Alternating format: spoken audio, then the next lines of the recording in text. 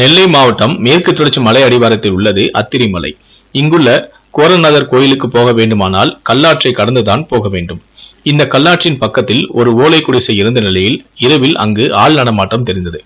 இதனால் வனத்துறையினர் அங்கு சென்றனர். அப்போது வனத்துறையினரிடம் சுப்பிரமணி என்ற நபர் சிக்கினார். அவரை எச்சரித்த அதிகாரிகள் இங்கெல்லாம் வரக்கூடாது என கூறி அவரை விரட்டி அடித்தனர். ஆனாலும் ஆள் நடமாட்டம் இருந்து கொண்டே இருந்தது. அதனால் வனத்துறையினர் ரகசியமாக சுப்பிரமணியை கண்காணித்தனர்.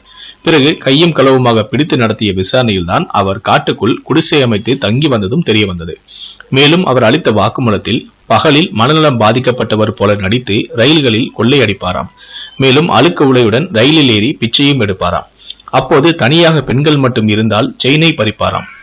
இப்படி கிடைக்கும் பணத்தில் கஞ்சா அடிப்பது பெண்களை காட்டுப் பகுதிக்கு குடிசைக்கு இரவு நேரங்களில் அழைத்து வந்து ஜாலியாக இருப்பது என கடந்த ஐந்து வருடங்களாகவே இருந்துள்ளார்.